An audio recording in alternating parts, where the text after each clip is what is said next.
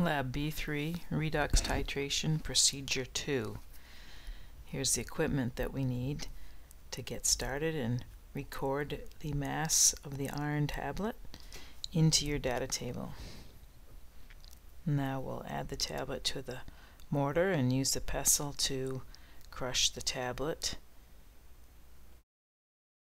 It's important to get all of the tablet out of the mortar and into the flask that we'll run the titration into.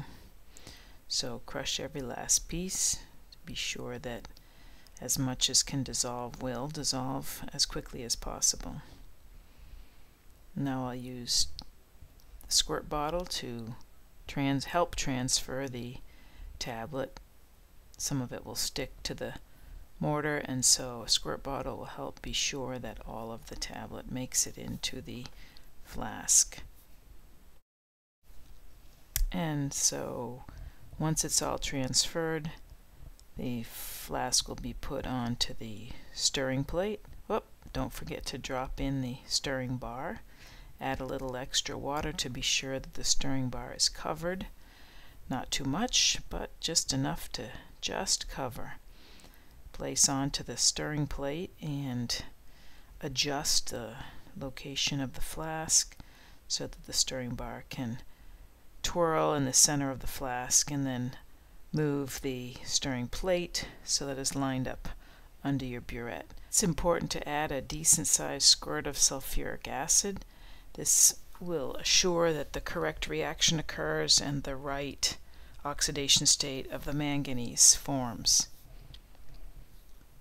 Notice that the burette read 0 at the beginning and we'll start to add the purple permanganate into the flask.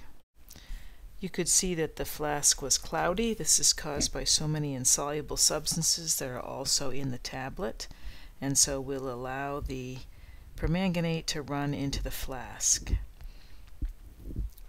Moving along quickly you can see that stopping and starting again, this is necessary be again because of the insoluble substances.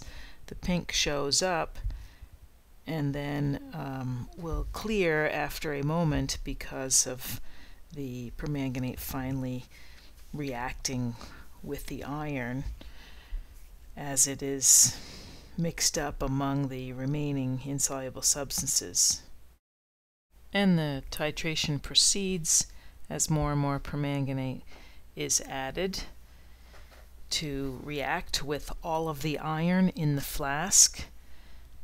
The flask will continue to go colorless, or cloudy in this case, until enough permanganate has been added to react with all of the iron from the iron tablet that's in the flask few drops here and there. You can see that we're closing in on 20 plus mils of the permanganate added. And it looks like the pink is persisting at this point. It's always good to wash the last droplet off the tip of the burette and into the flask and that could be it. Be sure and record the final volume of the burette as it reached the pink that persisted. Next we'll take a look at the label of the iron tablet bottles.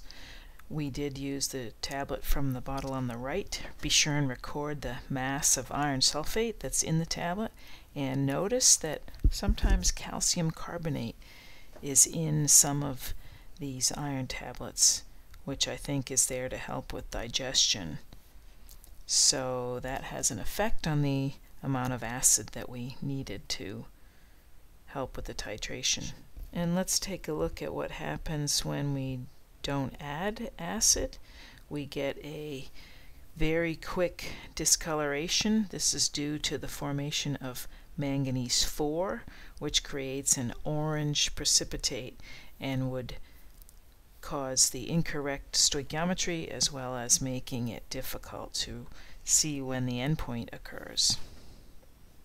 Important to season the burette as uh, if any water was left in the bottom of the burette from cleaning and the permanganate was added on top of that water, you may miss it, but certainly that permanganate in the start of the burette would be diluted and affect the amount of permanganate that you ended up using.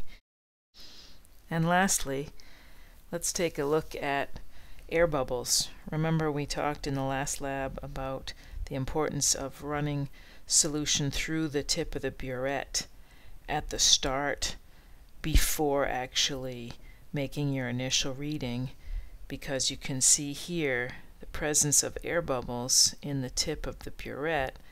If you hadn't cleared that beforehand, solution would be left in the tip that you would have thought ran out and you would not be recording a correct volume.